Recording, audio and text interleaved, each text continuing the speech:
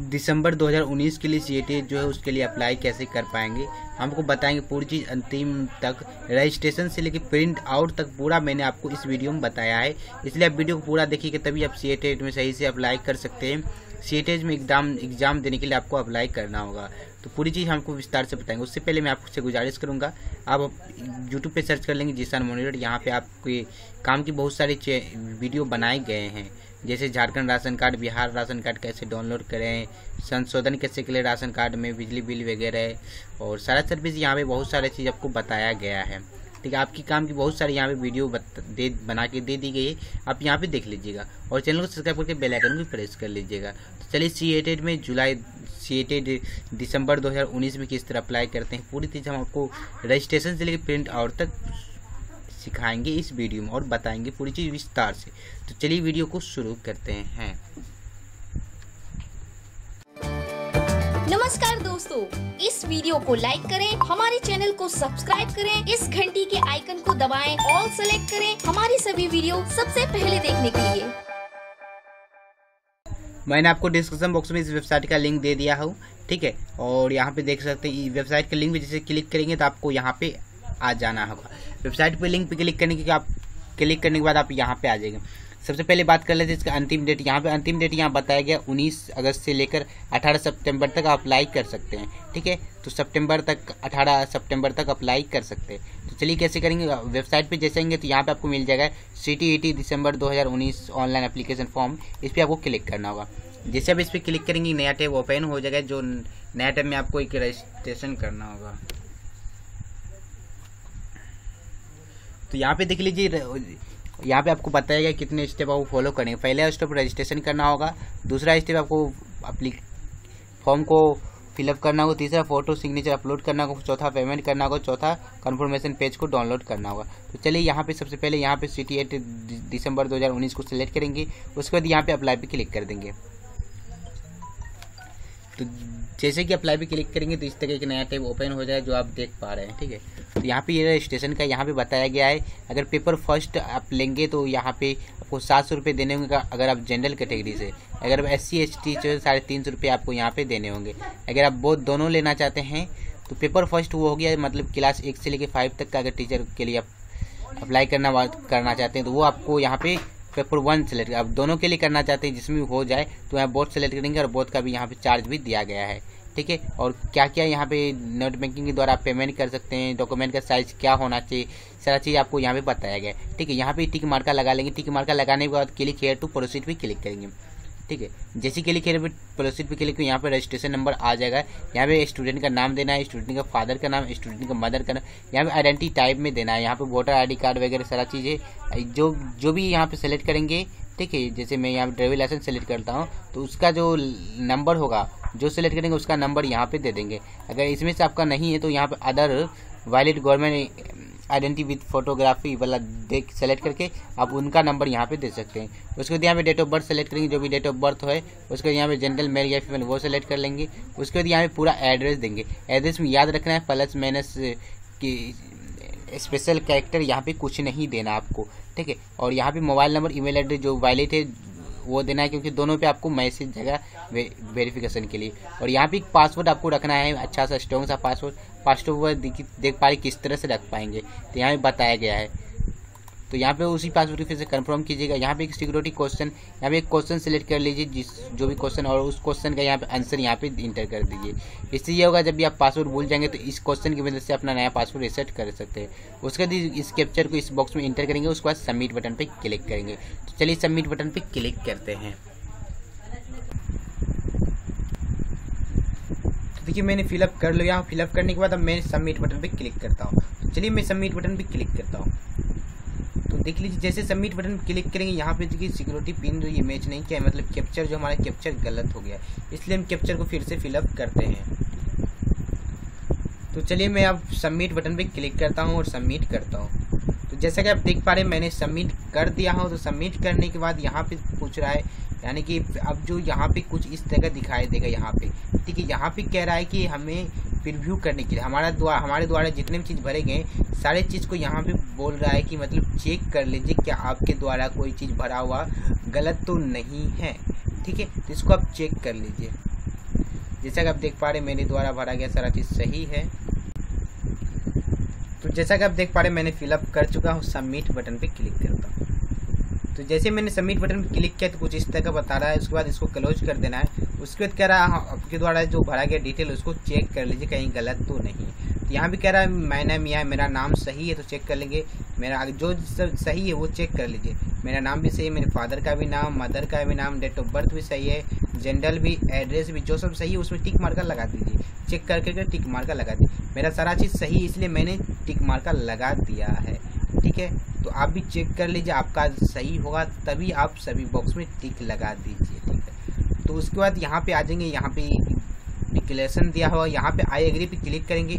जैसे भी I agree पे क्लिक करेंगे, यहाँ पे दिख रहे हैं फाइनल सबमिट ठीक है तो फाइनल सबमिट पे क्लिक करना, यहाँ पूछ रहा है कि आप सोर्स है तो कंफर्म करने के लिए यहाँ पे यस पे क्लिक कर देंगे। तो फाइनली सबमिट जो हो रहा है रजिस्ट्रेशन का हमारा, ये रजिस्ट्रेशन का हो चुका है। यहाँ पे देख पा रहे हैं जैसा कि मैंने आपको स्टेप बताया था पहले भी, और यह पहला स्टेप जो था रजिस्ट्रेशन वो रजिस्ट्रेशन मुझे, मेरा हो चुका है, ठीक है? उसका एप्लीकेशन नंबर भी हमें यहाँ पे मिल चुका है, ठीक है? तो अब चलिए दूसरी स्टेप की और बढ़ते हैं अप्लीकेशन फॉर्म अप्लीकेशन फॉर्म के लिए यहाँ पे देख पा रहे हैं complete application form complete application form पे क्लिक करेंगे। जैसे अप्लीकेशन फॉर्म पे क्लिक करेंगे, फिर से यहाँ पे रिलोड लेगा, और अप्लीकेशन फॉर्म हमें ये दे देगा। तो नेटवर्क हमारा थोड़ा सा सोलो चल रहा है, इसकी वजह से परेशानी हो रही है।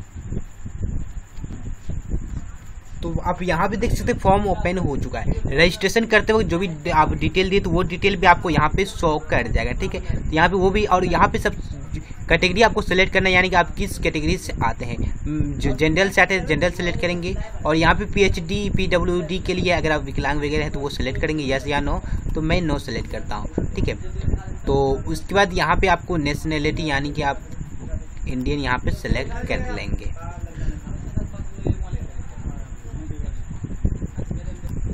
तो चलिए यहाँ पे नेशनैलिटी में इंडियन सेलेक्ट कर लेते हैं। तो उसके बाद यहाँ पे लैंग्वेज यहाँ पे लैंग्वेज पूछ रहा है किस लैंग्वेज में आप यहाँ पे लैंग्वेज सेलेक्ट कर लेंगे, जो भी लैंग्वेज से आप एग्ज़ाम वगैरह देना चाहते हैं। तो मैं फ़र्स्ट में हिंदी सेलेक्ट कर लेता हूँ और सेकेंड में इंग्लिश सेलेक्ट कर लेता हूँ। ठीक है? उसके बाद यहाँ पे इम्प्लॉयमेंट पूछ रहा है कि आप इम्प्लॉयमेंट वगैरह हैं, ठीक है तो अगर टीचर वगैरह हैं तो यहाँ पे सेलेक्ट कर सकते नहीं तो आप कोई चीज़ नहीं है तो आप नॉट एम्प्लॉयर को सिलेक्ट करेंगे। उसके बाद यहाँ अप्लाई अप्लाइंग फॉर यानी कि किसके लिए आप अप्लाई कर रहे हैं? पेपर वन के लिए पेपर टू के लिए। जहाँ पे देखिए पेपर वन में क्लास एक से पाँच तक और पेपर टू में जो है क्लास सिक्स से ट्वेल्व तक। ठीक है, यहाँ पे दिया गया है। अगर दोनों के लिए तो बहुत सेलेक्ट लगेगा दोनों के लिए सेलेक्ट करेंगे तो आपको पेमेंट भी ज़्यादा लगेगा। पेमेंट का मैं बता दिया हूँ पहले, ठीक है? तो जिसका, मान लीजिए मैं पेपर फ़र्स्ट के लिए सिलेक्ट करता हूँ तो यहाँ पे कुछ इस तरह का, यहाँ पे यहाँ पे लोडिंग लेगा। तो यहाँ पे लोडिंग लेने देते हैं थोड़ा सा तो जैसा कि आप देख पा रहे मैंने कर चुका। अब यहाँ पे देखिए, ये तो हो चुका। अब देखिए यहाँ पे first choice of exam centre यहाँ पे एग्ज़ाम सेंटर को सेलेक्ट करना होगा।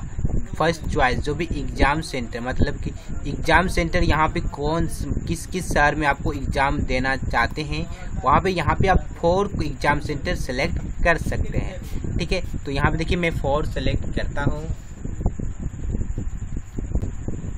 अप्लाई फोर के ऑप्शन में यहाँ पर आपको क्लिक करना है पेपर फ़र्स्ट पेपर टू या बोथ दोनों के लिए आप अप्लाई कर रहे हैं, उस चीज़ की डिटेल आपको यहाँ पर एंट्री करनी होगी। अब यहाँ पर हम कर रहे हैं पेपर टू के लिए अप्लाई तो हम पेपर टू पर क्लिक कर देते हैं यदि आप बोथ के लिए अप्लाई कर रहे हैं तो आप बोथ पर भी क्लिक कर सकते हैं तो देखिए बोथ पर क्लिक करने के बाद आपके सामने दो ऑप्शन ओपन हो जाएँगे यदि सिंगल सिंगल पर क्लिक करेंगे तो सिंगल सिंगल ही आपके ऑप्शन यहाँ पर आएँगे तो यहाँ पर देखिए आपने वन टू फाइव क्लास के लिए आपकी मिनिमम क्वालिफिकेशन आपकी क्या होनी चाहिए उसका कोड आपको डालना होगा तो यदि बारहवीं पास है और फिफ्टी परसेंट मार्क्स आपके पास टू ईयर डिप्लोमा है, आपके पास तो आप यहाँ पर छाट लीजिए। जो भी आपने कर रखा है वो छाट सकते हैं यहाँ पर आप।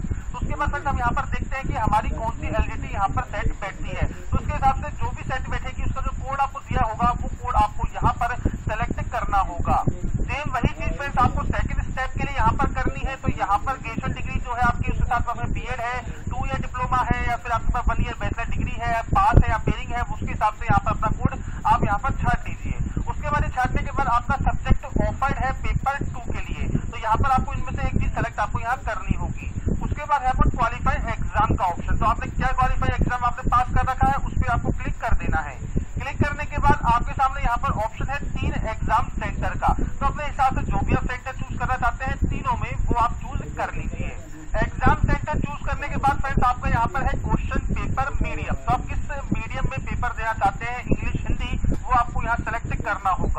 देखिए हर पर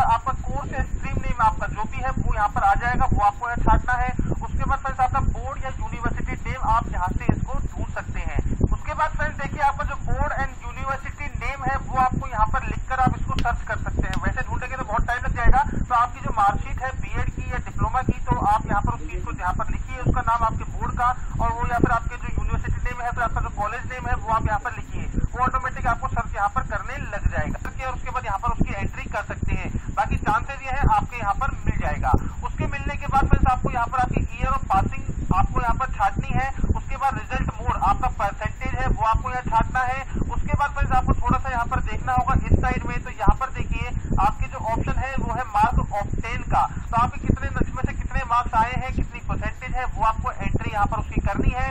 और उसके बाद आपका जो इंस्टीट्यूट का पिन कोड है, अब आपके पास अगर मान लीजिए इंस्टीट्यूट का पिन कोड नहीं है तो फ्रेंड्स आप गूगल पे जाइए, आपका इंस्टीट्यूट का नाम डालिए एड्रेस डालिए मतलब इंस्टीट्यूट का नाम जैसे डालेंगे तो उसके आगे लिख दीजिए एड्रेस तो उसको आप क्लिक करेंगे तो आपका जो मैप है, वो खुल जाएगा और पिन कोड आपको शो हो जाएगा। या फिर वो जिस भी तहसील में है तो उसका भी पिन कोड आप वहाँ पर डाल सकते हैं।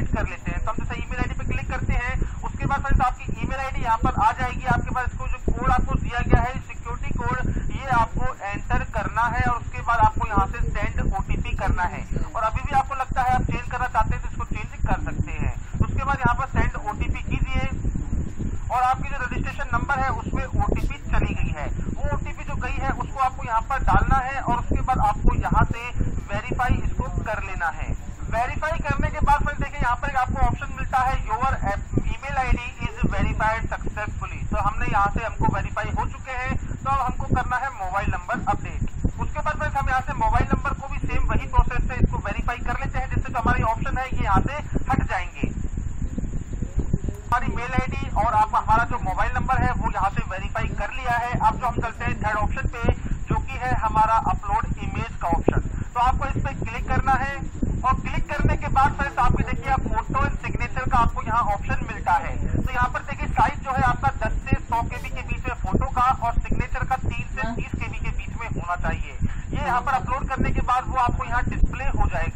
se ha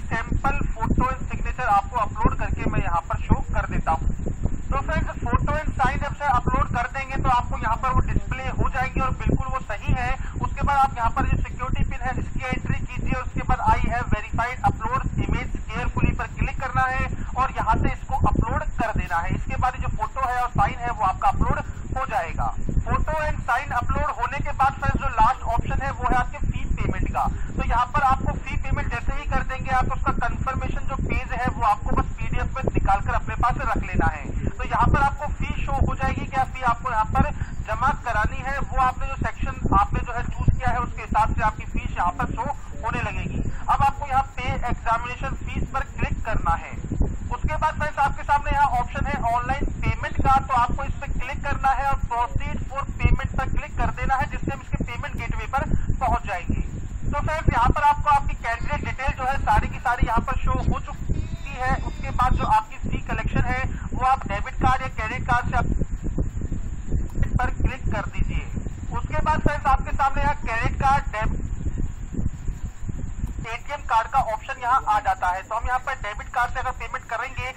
debit card यहाँ पर लिखना है, उसके बाद यहाँ पर आपके देखिए, आपका जो कार्ड नंबर है, वो आपको यहाँ एंटर करना होगा। उसके बाद आपकी एक्सपायरी डेट सीवीवी नंबर जो उसके पीछे लिखा होता है कार्ड के, वो डालना है, कार्ड होल्डर नेम डालना है, किसी भी नाम का कार्ड हो, आपका किसी भी सदस्य का हो, किसी भी मेंबर का हो तो आप उससे पेमेंट कर सकते हैं। उसको डालने के बाद आपको यहाँ पर उसका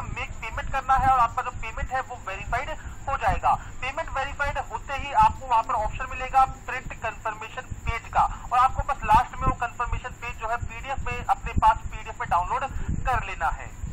तो फ्रेंड्स पेमेंट जैसे ही हम वहाँ पर कर देंगे कंप्लीट हो जाएँगे तो लास्ट स्टेप देखिए, अपन लास्ट स्टेप फोर है, वो आप